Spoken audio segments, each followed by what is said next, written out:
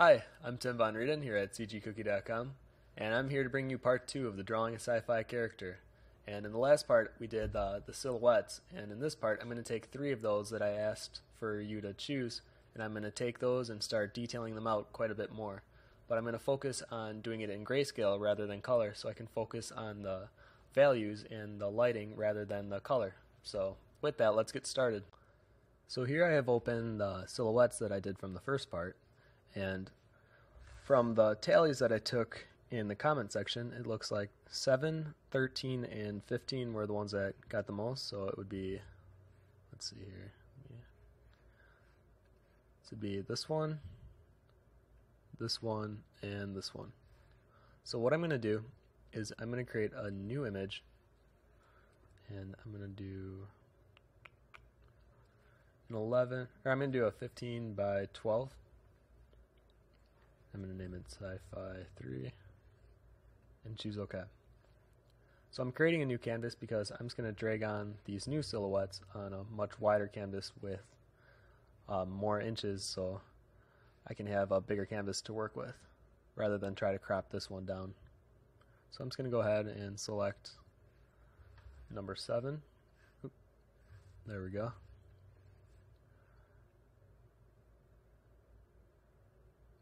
And number 13.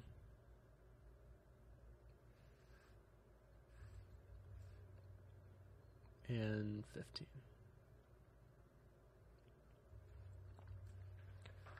So as I was looking through these, I thought it was kind of funny because these three are three that show off the different um, uh, styles of sci-fi, or at least the ones that I consider.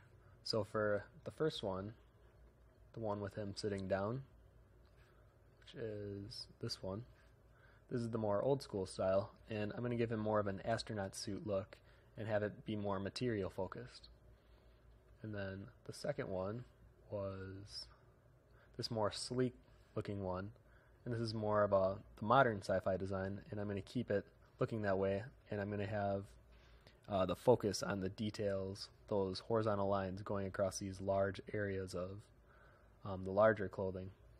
And then the third one was more android uh, robotic looking, so more mechanical. So for that one, I'm going to focus more on cylindrical shapes and kind of flesh that one out in a robot manner. So I'm going to take away that 2 number, and now I'm going to rename these as 1, 2, and 3.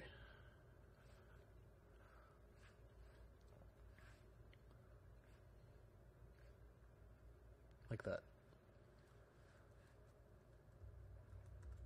So now I'm going to have these all in one layer. Um, I'm going to try to condense my layers, but if you like working on your own layers and making it easier to go in and edit, you can keep them on separate layers. But for these, I'm going to go ahead and merge into one layer, and I'm going to mask out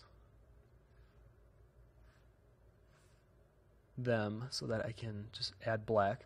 And to do that, so if I make a new layer above the layer with my silhouettes on them, if I hold Command on a Mac click on the actual substance in the layer, you can see how they're then they are selected with the marching ants. And then if I go all the way down and choose this dark gray rectangle with the white circle in it, which is masking, you can see how it creates that mask.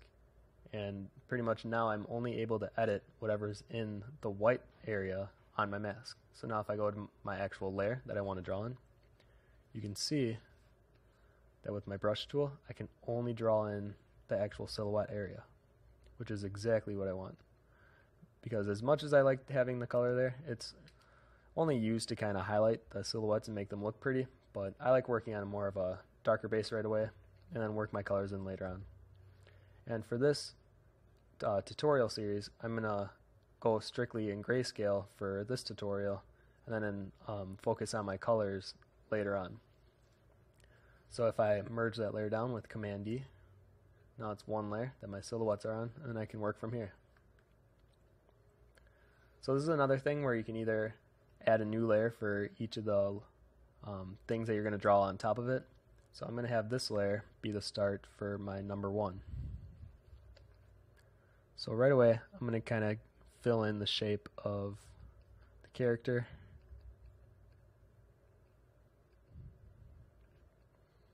using those little details that I added on, kind of sketched in with the eraser tool on the last one, as guidelines for me to work with when I'm adding in the actual silhouette.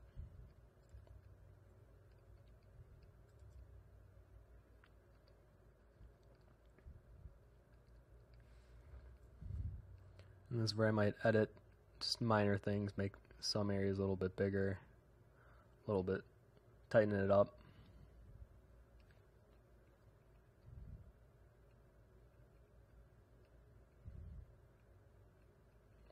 I'm going to do that for all three of them really quick.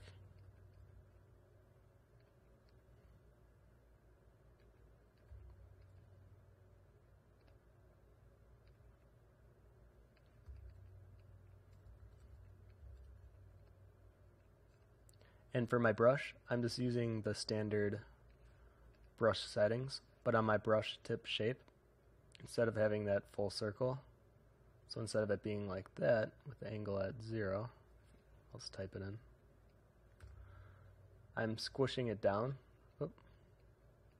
Sometimes it's hard to grab these little black circles on either end. And I'm squishing it down so that I have a flatter brush to work with. And I'm doing that because I don't want so much round edging where the brush will be laid out, but more of a flat sort of a look that the brush will give then.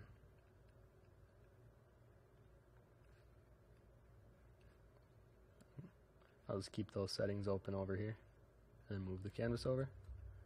And for the actual Android one, I'm going to keep a lot of these areas open where I feel like you would just see through it because these are just cylindrical kind of poles that are keeping him together. And then near the actual body is where there's a little bit more to him. But I'm not sure what I'm going to do yet with him. We'll see.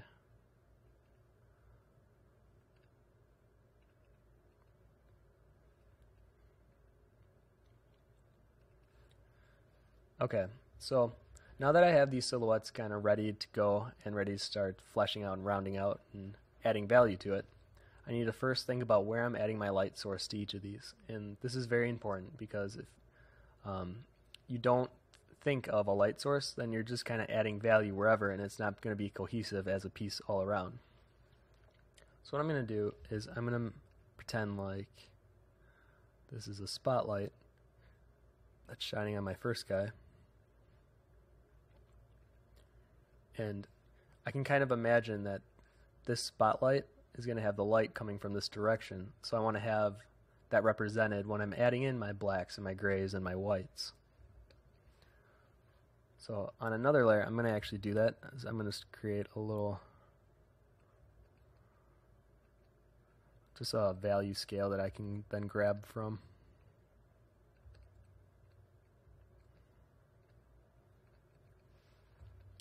And then eventually, as I'm adding in all these different grayscale values in my actual piece, I could just grab the color from the character rather than having to go to this bar down here. But I'm going to have that there for now. And then I'm going to go ahead and get started. So I'm going to have this on a layer above that one. And I'm going to go for it. So with this light direction in mind, I'm going to go ahead and start laying on some gray of as to where the light would be hitting. So now, like I said, this concept that I'm doing for this guy, I'm keeping very old school and uh, material focused. So the only really hard surface things that I'm going to have in here are going to be his kneecaps and shoulder caps. So those are going to have that metal kind of a older metal look to them so those would reflect the most light. So this is definitely something to keep in mind on what materials you're adding to your characters and how much of light they would actually reflect. So something as different as satin from cotton to metal, uh, just knowing how they reflect light can greatly change how you actually uh, add color to them and how you concept it out. So now for him, I'm actually thinking he's going to be wearing some old, rugged looking boots. And this is him. I'm almost imagining a story for him as I'm laying this out. And I'm kind of seeing this kind of older mechanic or some kind of worker that is taking a break and he's in his space outfit or whatever he's doing, either on the moon or something, and he just it looks like he's lived a hard life, and you want to kind of emphasize that when you're adding in these uh, what he's wearing, so these details, because if you can give a character a story without having any background or any words, but just looking at him through a picture, um, then you have successfully done a great concept art because you concepted a character from um, nothing. So, like I said, I'm adding this gray, which is representing my first kind of pass on all the lighting hitting the character. And I'm keeping the direction of that light in mind, and I'm adding it based on that light direction. So it's going to be really heavy on the top side, and then on the bottom side of these legs, especially, it's going to be a little bit more dark.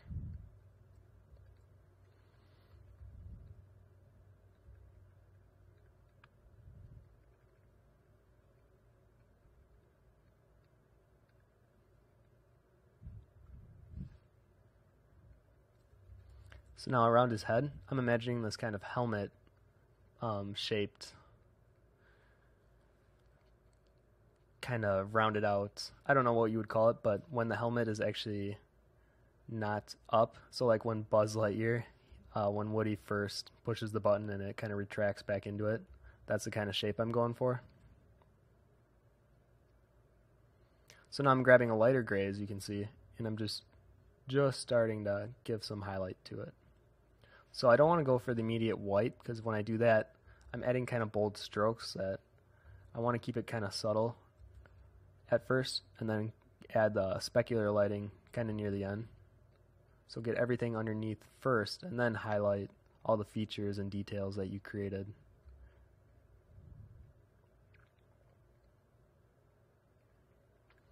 And to better show off the lighting and how I'm kind of imagining it, I'm going to create a new layer above the background layer and then just draw in a slight shadow for this guy and have it coming up to whatever he's sitting on and give a heavy shadow from there.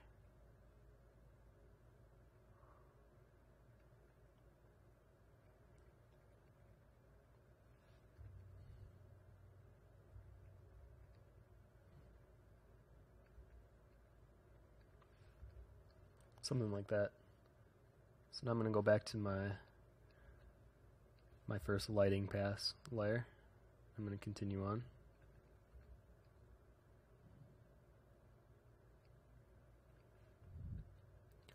So now on things like the tank that's on his back, you can imagine that the top of this would be lit, but then the back would actually give a shadow that would be on the tank, so it would only be brightest near the top where the light would be hitting, hitting it directly. And then since the tank is more of a metal surface, I'm going to give it more of a shine. And it has that more condensed, reflective surface look to it.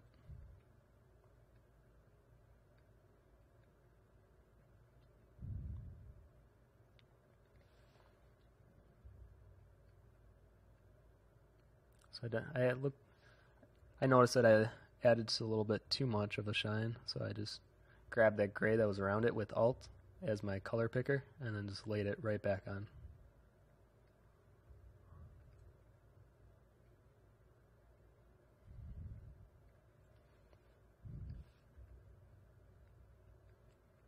So I'm going back and I'm giving some more highlight to these areas.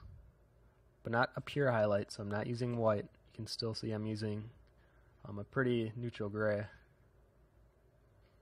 And when I'm thinking of drawing this kind of a metal reflective surface, I'm going to actually pull up a reference that we had our concept artist Nubia Palacios do a while back. And this is this X kind of a weapon that she did, and it's really well rendered in the way that she did the metal.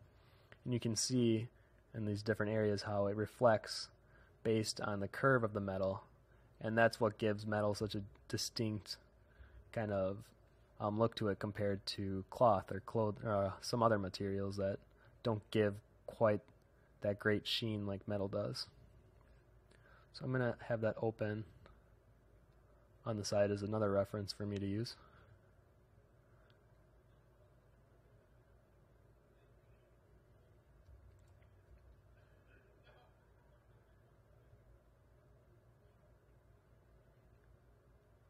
Might have some metal around his gloves. And then going back to that kneecap that I was talking about.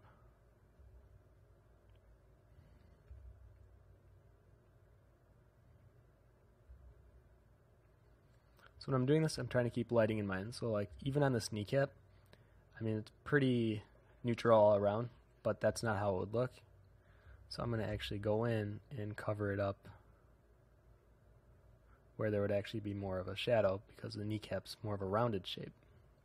So I want to give off that effect rather than having it look like a flat surface.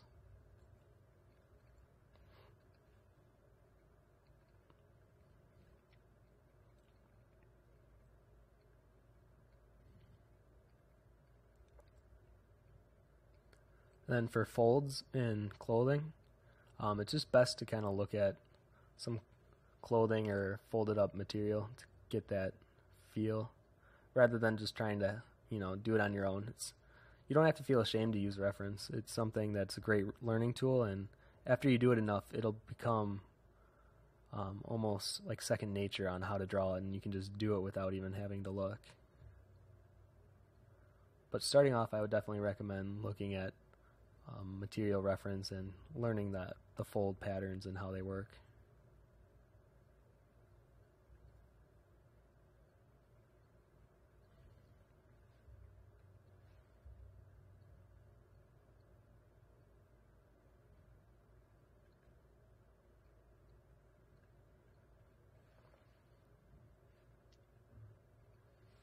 So now for the actual head.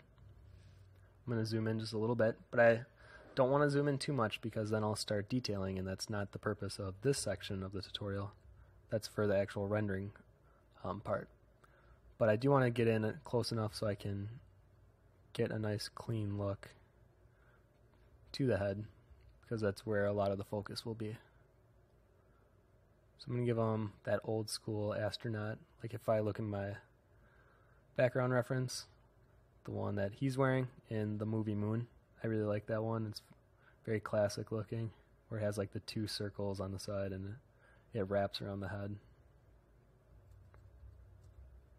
So I'm going to stick with that style and kind of work with it.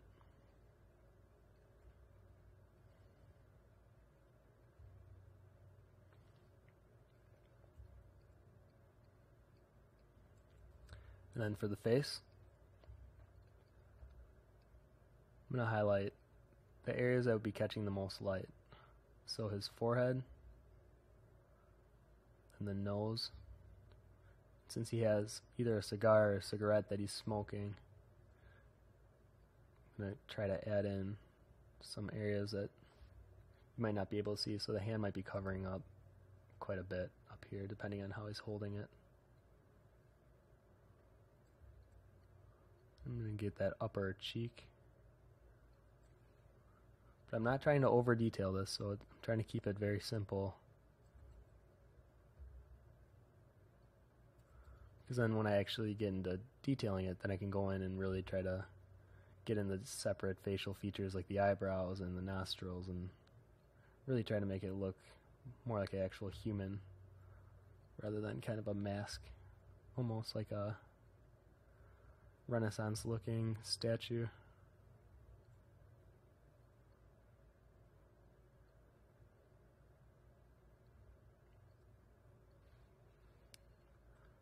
Yeah, I'm not liking that, so I'm going to redo that one. And just like that, I can just cover it up with black and go ahead and get started again. That's the great thing about working with grayscale is you can work quick and you can cover things up really fast if you're not liking how they're looking.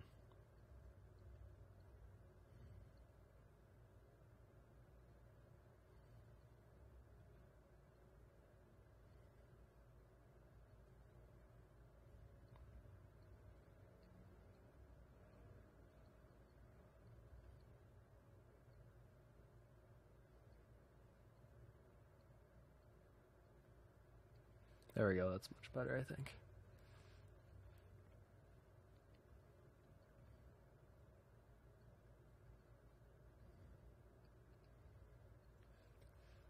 So now I'm gonna grab just a little lighter of that white, or of that gray, just add some subtle highlights.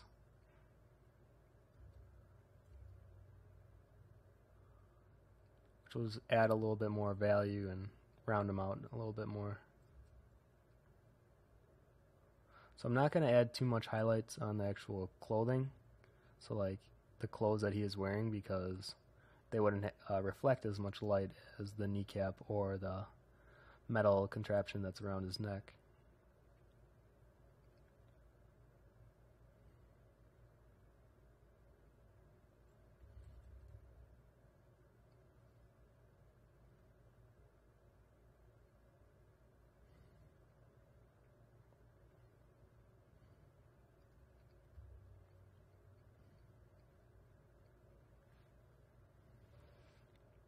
Okay.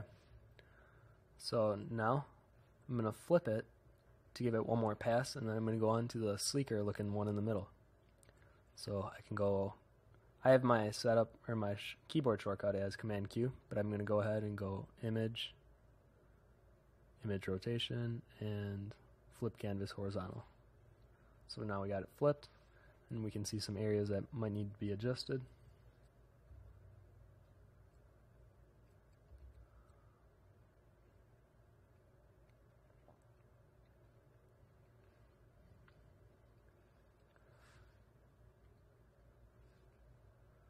So his leg is looking a little hyperextended, but I'm going to fix that later on. I'm going to keep it like this for now. Maybe have his shoelace coming off. Uh, no, I don't like that.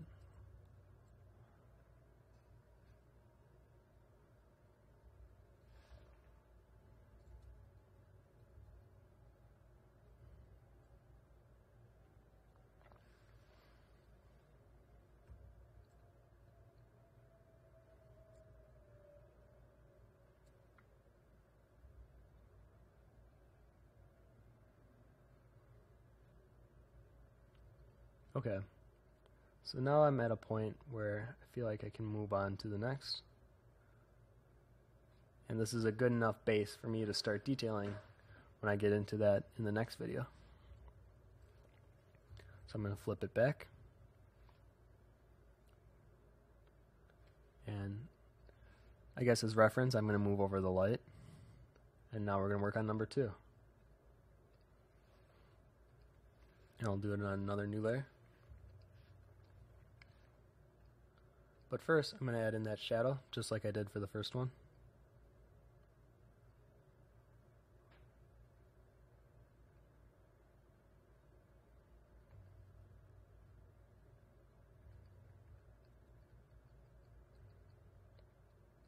Nothing too crazy, just a standing shadow that slowly, slowly fades out into a lighter gray.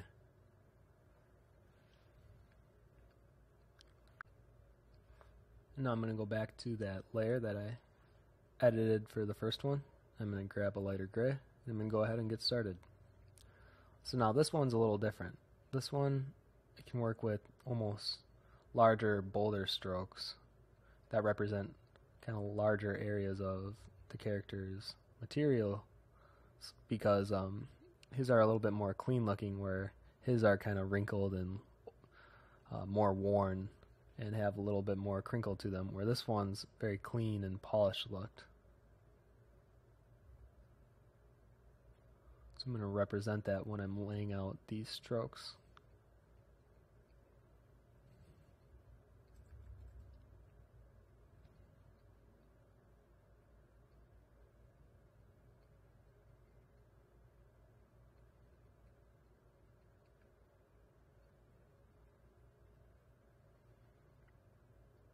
So I, I feel like I had these layers of this clothing that go around the arms. I'm not really sure what material this would be. I'm sure kind of a stretched fabric.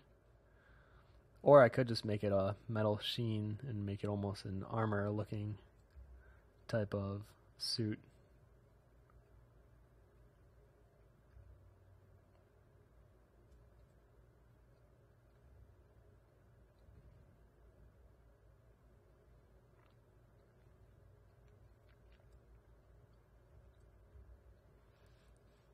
And then where the actual horizontal stripes are,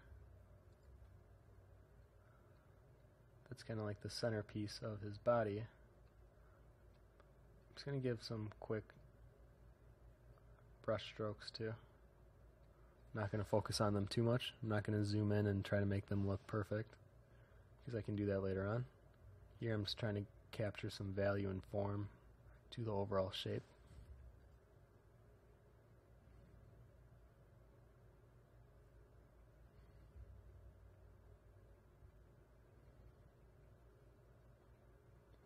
Just a reminder, don't forget to save.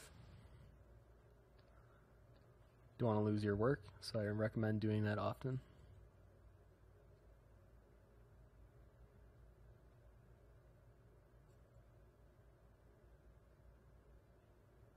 So as I'm building up these values, I'm kind of creating these interesting looking forms that I wasn't initially planning for, but now I'm kind of liking how it looks.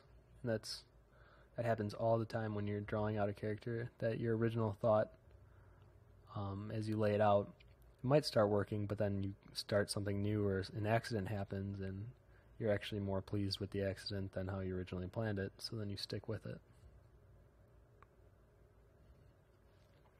So now very hard um, edge surfaces.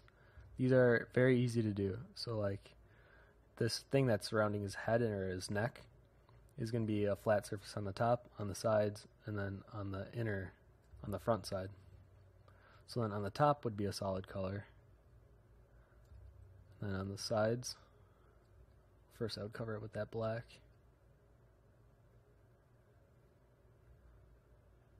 Then wherever the light's hitting the strongest, it would be the lightest of the grays.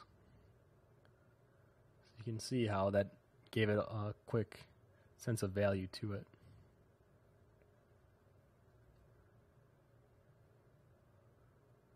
Then since the head would be giving a shadow, I got to cover that up.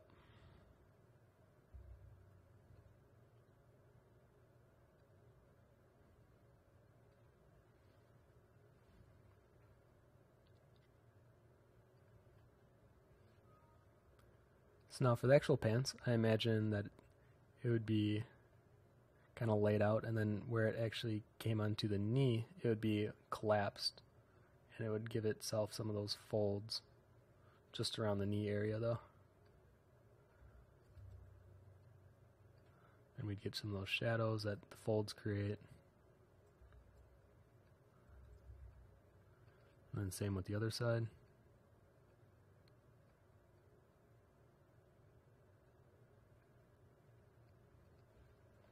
There we go.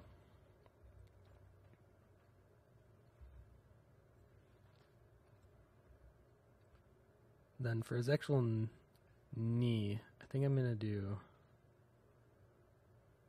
a lower kneecap. So it almost just starts like just below the knee and then go down halfway up the leg like that. And I might have some kind of strap that's wrapping around it from the inside.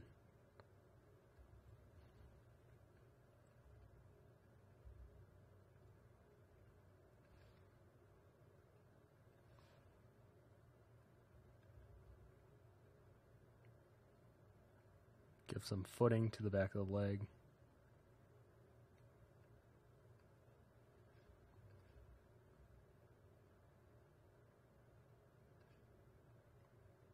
if there's areas that I'm not sure what I'm going to do with yet, so like on these um, feet, I'm just going to leave them like this, and I can uh, mess with it later on when I'm detailing it a bit more. But if I don't know right away, uh, I don't have to force it. I can always just save it for later.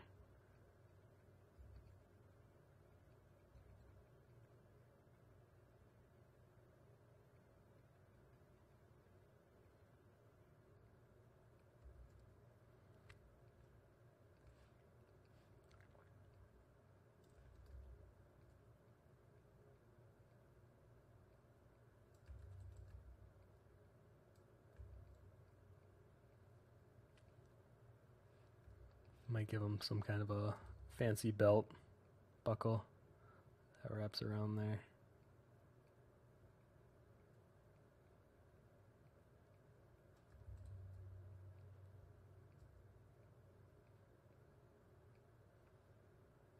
And then just give some slight shading on that arm. Not really worried too much. And then this arm. Add that hand back in with the black and then grab a gray to add some value to it.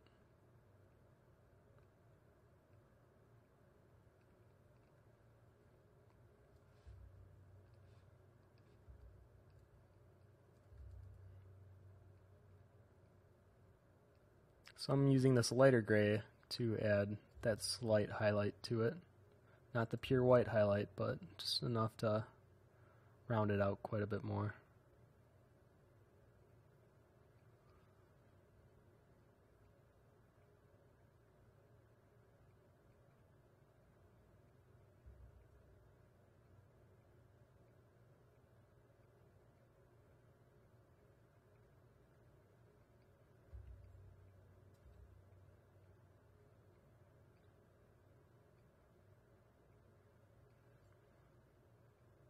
Now for his actual head, I'm thinking it's going to have, you're actually going to be able to see the neck just a little bit. I think I'm going to give him some hair as well. Just a nice little short cut like that. And I'm going to draw in the forehead, the top of the nose, and the cheeks, just like the first one not worrying too much about how detailed they look, just enough to emphasize where it would go.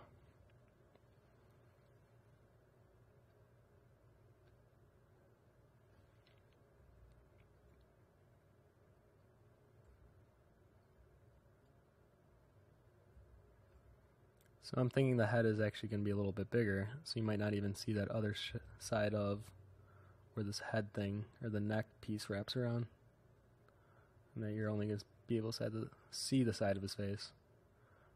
Unless if I go in and add it in right now, like that. There we go. That feels better. Then I can re-add the lighting on top of the side like that. Okay, I'm going to flip it. See what it's looking like. It's a little uh, crazy for a pose, a little bit of a S pose that's going on. So I can make that a little bit more relaxed later on. Even this leg, it looks like it should be standing more like this, which I think would be much better. But I'm not going to over focus on it yet. I can edit that later.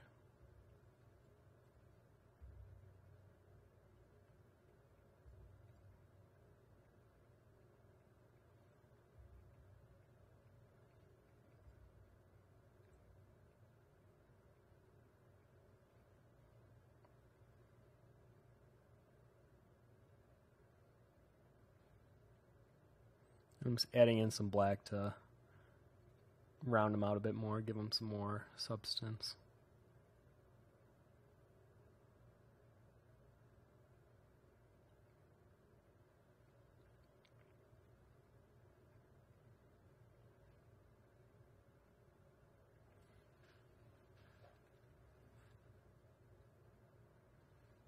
Flip it back. Okay, I'm satisfied with that one. I'm going to move the lighting source again. So it'll be a little off screen. And then this will be the last one, which is the Android.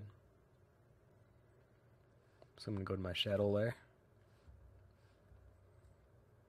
Create the shadows based on that lighting information. So I'm going to start from his feet and then just kind of push it out, keeping it the darkest where it's closest to his feet, and then trying to lighten it out a little bit as it goes on.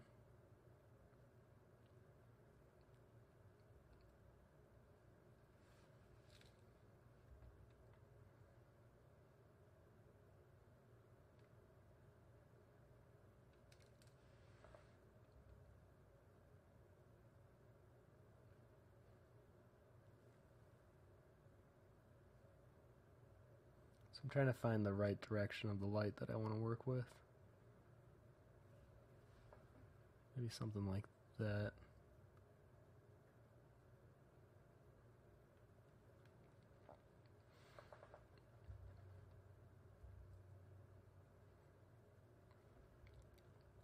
Okay. So I'm going to go back to the layer that I have all the edits on. I'm going to grab my gray and get going again. So now since I'm using a lot of metal texture in this one compared to the last one and definitely the first one, I'm going to be very careful on how I lay down my gray. Because I'm going to use it to highlight these cylinders that are kind of holding them up. And then using a very light gray to add a highlight. So instead of using a flat one for this area, I'm going to go ahead and if I click in my brush tip shape, if I click on the top, see how the arrow now points um, directly up. So now when I go back on the screen, you can see how it looks like this now. I'm going to use that to draw in my highlights.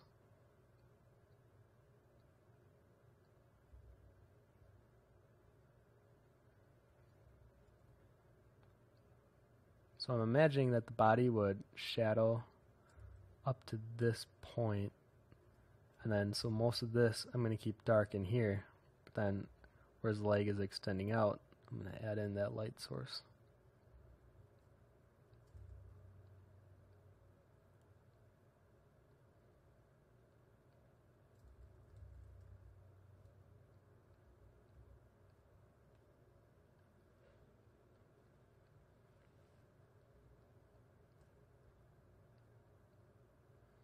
For his foot.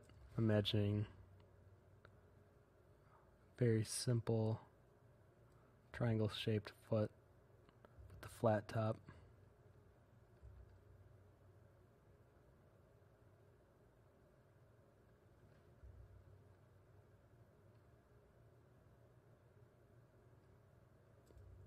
And then I'm going to give him a flat toe representation as well right there. And this thing in the back might be uh, maybe his heel or like a brake or something. Maybe he can run really fast. Something where you want to play with the different shapes that your silhouette has given you, and if they don't make complete sense on what you're thinking for that character, just go with it. See if you might make a pretty cool discovery on something new that you did not expect to add in. And then if not, I mean, you can always erase it and try with something else. But it never hurts to try.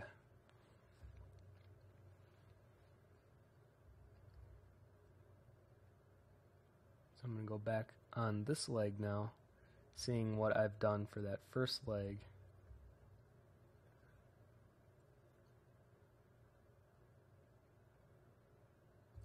And I'm just going to try to almost replicate it on this side.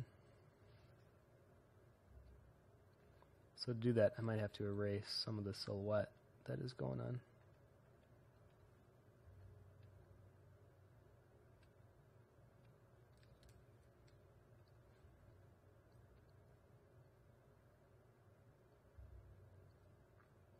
So this is another reason why I like to work on a single layer when I first start off so that I can erase and adjust things pretty easily. Like even the leg that I wanted to adjust on the second guy, I could have just pulled that into the liquify filter and um, pushed it in. Whereas since I'm working on separate layers, I have to uh, merge it together first before I do that. Which is fine. It's just different ways of working, and whichever one is most comfortable for you, I would stick to it.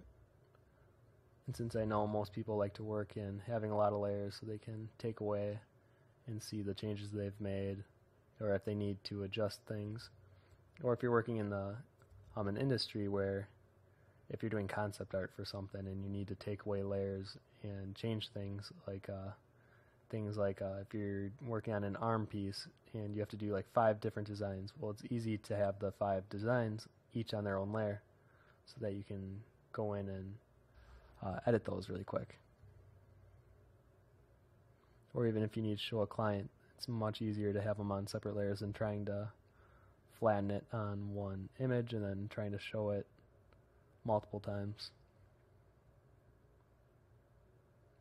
So right now I'm trying to give that flat old school kind of robotic foot to him. Very simple compared to this kind of messy looking structure that's holding up his legs together.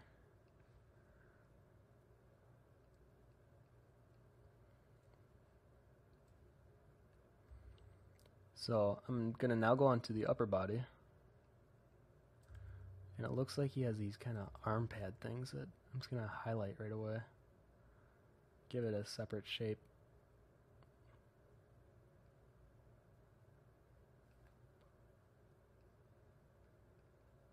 I like how those look. Even though this one would have that shadow then coming off his head like that.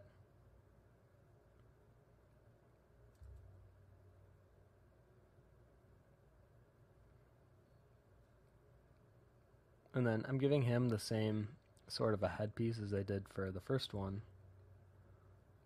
Just give it that very spherical look and shading to it. But instead of having it stop like it did on the first one, I'm going to have it continue down into his upper body.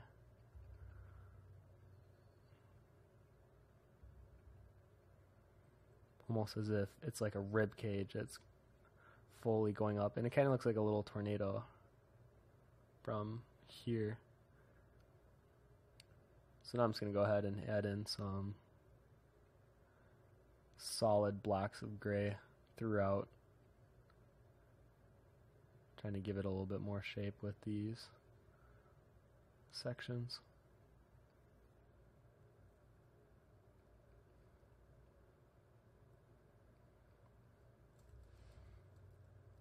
So this isn't just one light that I'm working with. I'm also imagining there's some ambience light going on, some bouncing.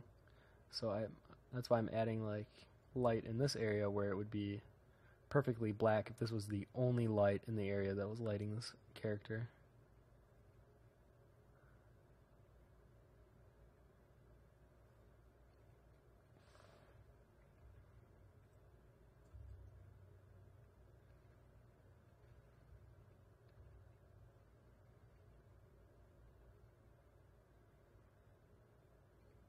Some flat surfaces where his thighs would be. And I give him kind of a that same object that's wrapping around this guy's neck. I'm going to wrap around this guy's waist.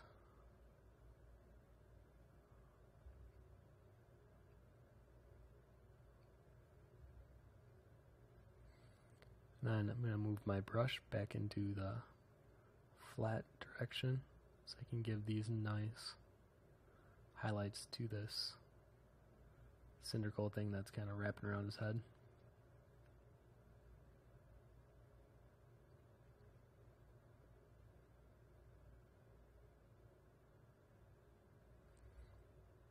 Grab an even lighter one to push it, push out those values a little bit more.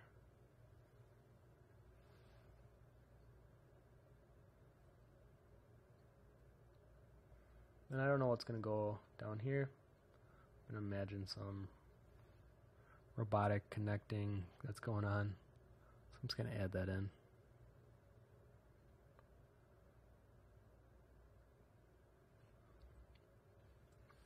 So now the tricky thing is trying to figure out what kind of head that I want this guy to have.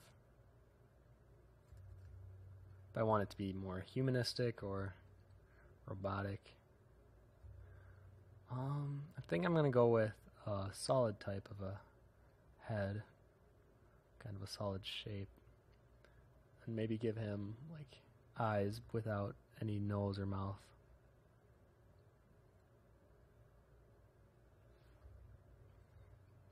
Or I could have it come in almost forming that shape of the skull.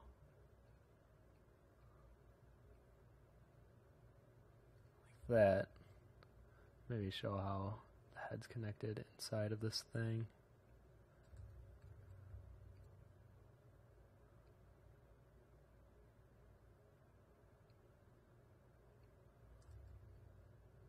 And then just show little slots for now on how that would kind of represent where the eye sockets or however he sees would go.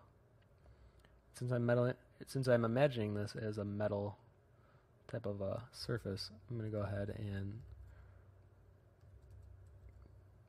draw this gray on as if it were So imagining the light would be catching the inside of the eye socket, like that.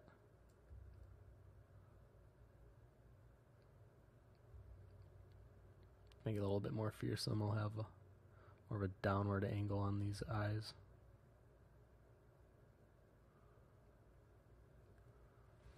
That.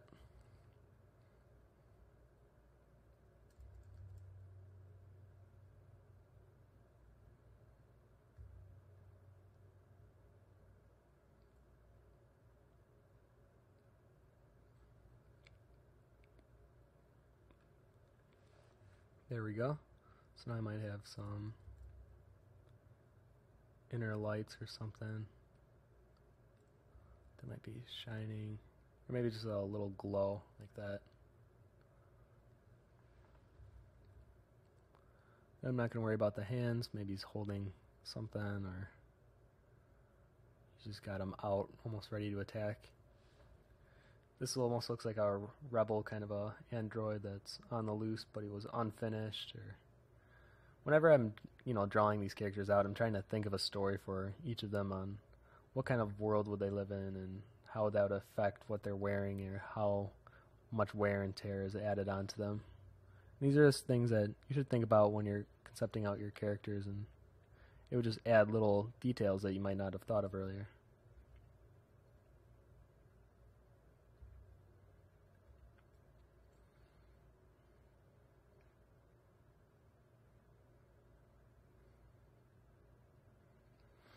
Okay, so I'm feeling pretty good about how this guy's looking. So I'm going to go ahead and save it again with Command S.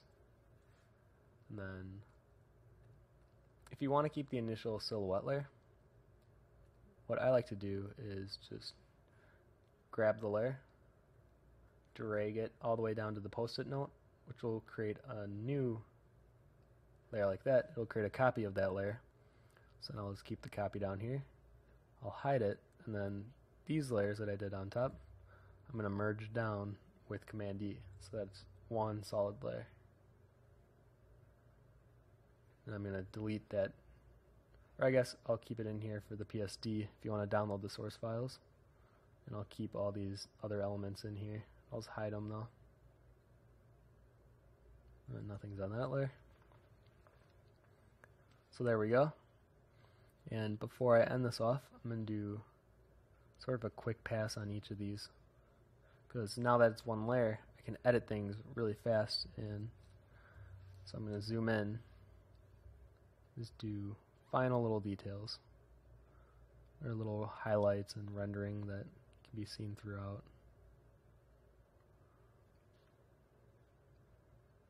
So now I'm going to work a little bit faster. And actually I'm going to go ahead and time lapse this out. So I'm probably gonna do like five ten minutes minutes overall, so I don't want to waste your time. So I'm gonna do that really quick.